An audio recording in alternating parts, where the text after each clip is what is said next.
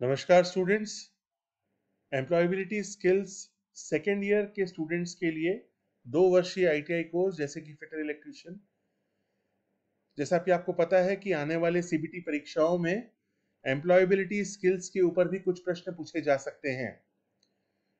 तो इस employability skills के अंतर्गत एंटरप्रेन्योरशिप स्किल्स का पहला वीडियो आप देख चुके हैं.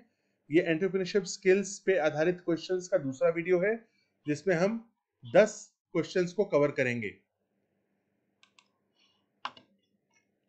आपको हम पहले भी बता चुके हैं कि हम इस एक्सप्लेनेशन वीडियो को बनाने के लिए हमने iti50.com जो कि आप नाम हमारी स्क्रीन पे देख सकते हैं इस वेबसाइट का यूज़ कर रहे हैं। इस वेबसाइट ने बड़ी मेहनत की है।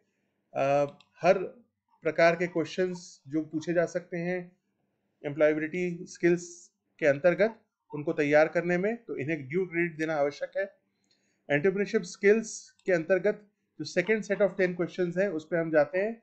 ये पहले दस क्वेश्चन थे जो हम पहले कर चुके हैं, पहले पहले वीडियो में। अब हम अगले दस प्रश्नों के ऊपर जा रहे हैं और उनको हल करने का प्रयास करेंगे आपके साथ। पहला question one important rule to network effectively is network क्या होता है? जब कोई एंटरप्रेन्योर अपना स्वयं का कार्य शुरू करता है, कोई बिज़नेस शुरू करता है या कोई प्रोडक्ट बनाना शुरू करता है तो उसके लिए नेटवर्क स्थापित करना बहुत आवश्यक है। नेटवर्क स्थापित करने से अर्थ है कि अपने कस्टमर्स के बीच में नेटवर्क, अपने सप्लायर्स के बीच का नेटवर्क, अपने बिज़नेस से संबंधित अन्य लोगों से नेटवर्क और अन्य बिजनेसेस से भी नेटवर्क, इसको नेटवर्किंग कहते हैं। तो एक ऐसा इंपॉर्टेंट रूल जो इफ़ेक्टिव या अच्छे नेटवर्क के लिए आवश्यक हो। इस प्रश्न का अर्थ ये है। तो हम चारों चॉइसेस को पढ़ेंगे और समझेंगे कि सही उत्तर क्या होना चाहिए। टॉक टू सेम पीपल से एक ही व्यक्ति से बात करते रहना। B keep in touch with your contacts अपने कॉन्टैक्ट से निरंतर संपर्क में रहना। C focus on selling your product केवल अपने प्रोडक्ट को बेचने पर फोकस रखना। चौथा डी आइडेंटिफाई योर कॉम्पिटिटर्स अपने प्रतिद्वंदियों को चिन्हित करना आइडेंटिफाई योर कॉम्पिटिटर्स तो ये चारों को पढ़ने के बाद ये समझ में आता है कि इसका सही उत्तर भी होना चाहिए keep in touch with your contacts अपने संपर्क अपने संपर्क वाले व्यक्तियों से निरंतर संपर्क में रहना, अपने कॉन्टैक्ट से निरंतर संपर्क में रहना। Number two question number two networking is networking क्या होता है? इस पे भी चारों चॉइसेस को पढ़ते हैं हम। पहला A making new enemies enemies नए दुश्मन बनाना। एनिमीज मतलब दुश्मन मेकिंग न्यू एनिमीज नए दुश्मन बनाना। गलत, ये नहीं, ये सही आंसर नहीं हो सकता। बी आइडेंटिफाइंग योर कॉम्पिटिशन अपने प्रतिद्वंदियों को आइडेंटिफाई करना, चिन्हित करना, ये भी नेटवर्किंग नहीं होता, गलत है ये भी। C making connections with other businesses and customers connection स्थापित करना, संपर्क स्थापित करना, अन्य बिजनेसेस से और अपने ग्राहकों से कस्टमर्स मतलब ग्राहक। तो मेरे हिसाब से नेटवर्किंग बिल्कुल यही होता है कि संपर्क स्थापित करना अदर दूसरे बिजनेसेस से और अपने ग्राहकों से। तो उत्तर सी होना चाहिए। फिर भी हम डी पढ़ेंगे, अगली चॉइस पढ़ेंगे। Joining a social network social network क्या होता है? बहुत सारी सोशल नेटवर्किंग साइट्स के बारे में आपने सुना होगा, जैसे कि फेसबुक इंस्टाग्राम व्हाट्सएप ये सब सोशल नेटवर्क्स हैं। तो इन्हें ज्वाइन करना, नहीं नेटवर्किंग इसको नहीं कहते। नेटवर्किंग कहते हैं सी जो लिखा है कि कनेक्शन स्थापित करना अन्य बिजनेसेस और अपने ग्राहकों से। नेक्स्ट टैगलाइन इज़ टैगलाइन क्या होता है? टैगलाइन क्या होता है? तो टैगलाइन को मैं समझा देता हूँ टैगलाइन क्या होता है? देखिए, जब भी आप कोई विज्ञापन देखते हैं तो जब आप टीवी पे कोई विज्ञापन देखते हैं तो आप कई बार देखते होंगे कि एक पंच लाइन एक लाइन जो निरंतर वो कंपनी हर विज्ञापन में ज़रूर जोड़ती है। जो उसके प्रोडक्ट को चंद वर्ड्स में समझा देता है। जैसे उदाहरण के लिए, अगर मैं आपको कंपनी का नाम ना बताऊँ और केवल एक चार शब्द बोलूँ तो आप तुरंत उस कंपनी को पहचान जाएँगे। जैसे, द टेस्ट ऑफ़ इंडिया। केवल मैंने द टेस्ट ऑफ़ इंडिया बोला तो तुरंत आपके दिमाग में आ जाएगा Amul. Amul the taste of India, ये आपने उनके हर विज्ञापन में देखा होगा। इस, इन चार शब्दों को, इस सेंटेंस को कहते हैं टैगलाइन तो हर कंपनी प्रयास करती है अपना एक ऐसा ही टैगलाइन तैयार करना, जिससे वो ग्राहकों के दिमाग में बार बार आए। जब भी वो टैगलाइन सुने तो उन्हें उस कंपनी की याद आ जाए। तो टैगलाइन जैसे मैंने बताया, अमूल का टैगलाइन है the taste of India. Similarly अगर मैं आपको केवल दो शब्द बोलूँ, सबसे तेज तो आपके दिमाग में तुरंत बात आएगी आज तक। आज तक न्यूज़ चैनल का जो टैगलाइन है, वो है सबसे तेज। इसके अलावा, अगर मैं आपको ये चार शब्द बोलूँ, सपनों की अपनी दुकान तो तुरंत आपके दिमाग में आएगा अमेजोन तो अमेजोन इंडिया का जो टैगलाइन है, वो है सपनों की अपनी दुकान। इसी प्रकार, अगर मैं दो शब्द कहूँ, हमारा बजाज। तो तुरंत आपके दिमाग में आएगा बजाज ऑटोमोबाइल्स। तो इस प्रकार से इन, इसको कहते हैं टैगलाइन। तो अब टैगलाइन क्या होता है? तीसरा क्वेश्चन है, इसको देख लेते हैं। A, a plastic bag you attach to your product, गलत। B, a meme making fun of your business. Tagline कभी भी अपने बिज़नेस का मज़ाक नहीं उड़ाता, गलत। C, a description of your business. आपके बिज़नेस को डिस्क्राइब करने वाला वाक्य। मेरे ख्याल से बिल्कुल सही है सी तो थ्री का सी आंसर होना चाहिए, फिर भी हम डी पढ़ेंगे अजोक कोई मज़ाक नहीं, गलत है वो भी। तो एक tagline is a description of your business ऐसा वाक्य जो आपके बिज़नेस को, के बारे में संक्षिप्त में बता दे। नेक्स्ट चौथे क्वेश्चन पे आ जाते हैं। If you want to give people relevant information about you and your business in an easy way you will इस क्वेश्चन को समझ लेते हैं पहले। अगर आप लोगों को अपने बिज़नेस के बारे में और अपने बारे में इंफॉर्मेशन देना चाहते हैं तो उसका सबसे आसान तरीका क्या होगा?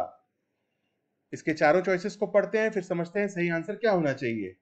पहला A write it on a piece of paper and give it to them एक कागज़ के टुकड़े पे लिखकर उन्हें दे दें।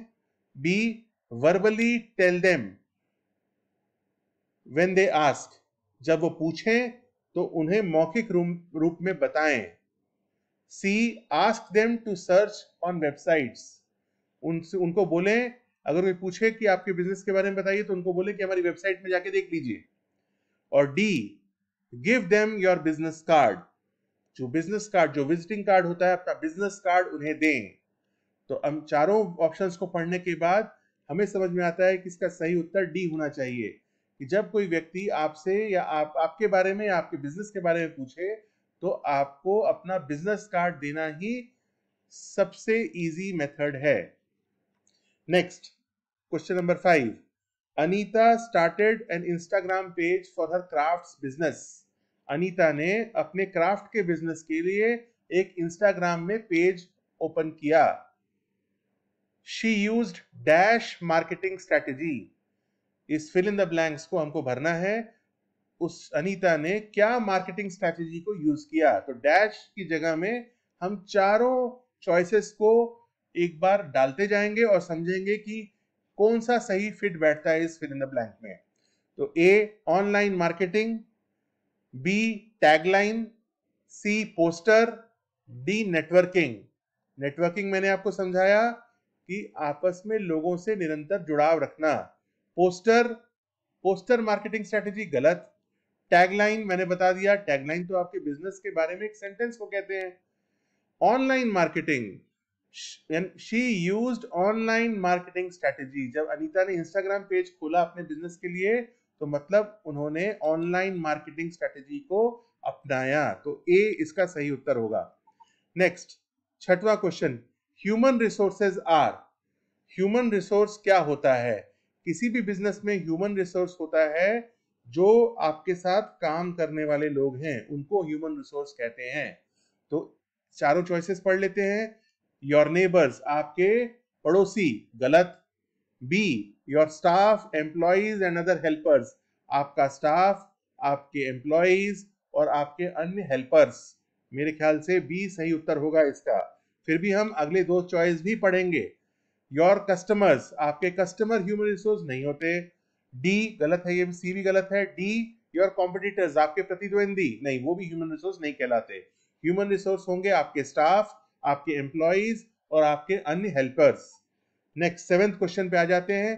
Which one of the following is not a resource इनमें से रिसोर्स क्या नहीं है? A raw material B customer database C profit earn और डी आप योर बेड तो ये चारों में से आखिरी जो है डी, ये ह्यूमन रिसोर्स नहीं है, ये ऑर्ड चॉइस है जो चारों में से। तो रॉ मटेरियल कस्टमर डेटाबेस और प्रॉफिट अर्न ये ज़रूर रिसोर्स है।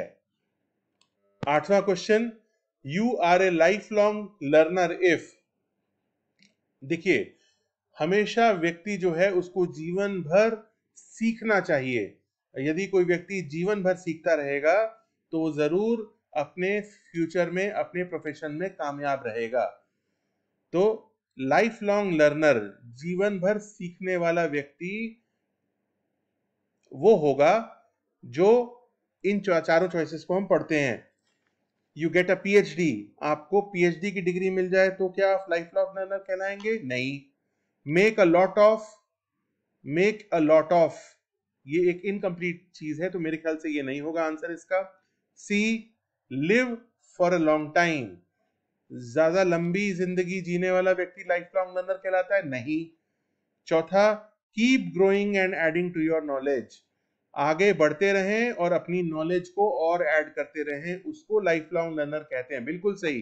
डी आंसर इसका सही होना चाहिए। Keep growing and adding to your knowledge next नौवे क्वेश्चन पे आ जाते हैं। One of the benefit of a long life long learner is life long learner यानी निरंतर सीखने वाले व्यक्ति का एक बेनिफिट बताएँ। तो चारों चॉइस को पढ़ लेते हैं हम। Become a better decision maker एक अच्छा निर्णय लेने वाला डिसीज़न लेने वाला व्यक्ति बन जाता है एक लाइफ लॉन्ग लर्नर मेरे ख्याल से बिल्कुल सही है ये ए बिल्कुल सही है। बट जब भी आप सीबीटी परीक्षा दें, अगर आपको पहला उत्तर सही लगे, फिर भी आप बाकी के कुछ उत्तर ज़रूर पढ़ें चॉइसेस को ज़रूर पढ़ें और उनमें से डिसाइड करें बेस्ट कौन सा है। B becoming famous life long learner का बेनिफिट फ़ेमस होना नहीं गलत है ये। मेकिंग लॉट्स ऑफ़ फ्रेंड्स ये भी गलत होगा। एक लाइफ लॉन्ग लर्निंग से फ्रेंड्स बनाने का कोई मेल ही नहीं है। और staying physically fit physically fit रहना लर्निंग से फिजिकली फिट का भी कोई संबंध नहीं है। तो इसका सही उत्तर ए होगा। Become a decision maker a better decision maker एक लाइफ लॉन्ग लर्नर जब जीवन भर सीखता रहेगा तो वो अलग अलग चीज़ें सीखेगा जिससे कि वो एक अच्छा निर्णय लेने वाला व्यक्ति बन जाए।